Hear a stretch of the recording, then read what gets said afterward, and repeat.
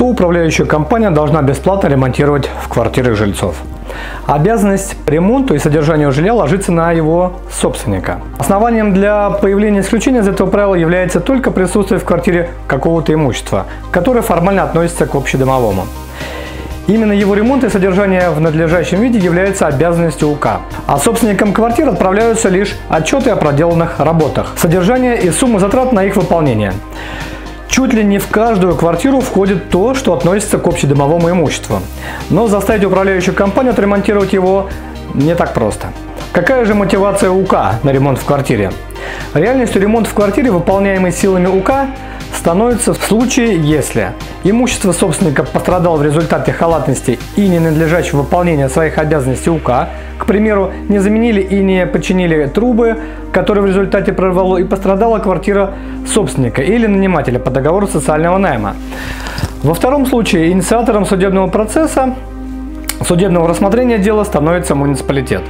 И второе, необходимо отремонтировать что-то чем пользуется собственник квартиры. Но это общедомовое имущество, к примеру, балконная плита, батарея центрального отопления, если внутриквартирная отопительная система не отделена от остальной запорной арматурой. Во всех случаях, когда собственник квартиры попытается добиться ремонта силами управляющей компании, он встретит яростное сопротивление, даже при наличии на руках соответствующего решения суда. Ничто не мешает УК обжаловать его в суде вышестоящей инстанции.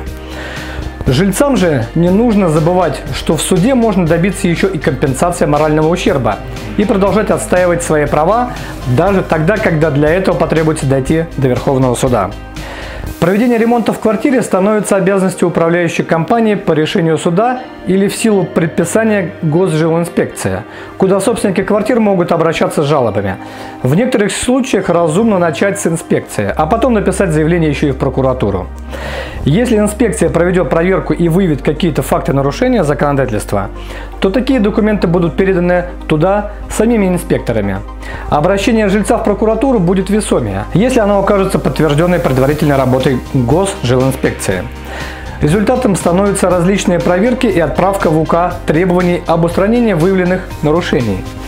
Гражданин же может инициировать прокурорский надзор за невыполнением должностными лицами их обязанностей. Алгоритм действий нужных для отстаивания своих прав. Однако сам процесс может растянуться на довольно длительный срок. Примеру, если собственник квартиры решил добиться от УК того, чтобы она отремонтировала балконную плиту, ему придется сначала правильно обратиться с заявлением на проведение ремонтных работ в УК, аргументировав это соответствующими нормативными актами. Это может быть пункт правил номер 491, который определяет перечень общедомового имущества. Содержит он и балконные плиты, сам же балкон, ограждение, навес, рамы и застекления. Другие его части ремонтируются силами владельцев квартир. Если УК не принимает никаких мер, то собственник квартиры может подать исковое заявление в суд.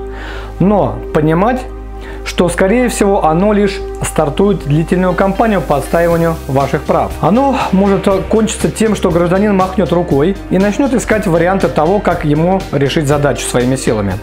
Поэтому наиболее рациональным вариантом будет привлечение всевозможных союзников или совершение дополнительных действий.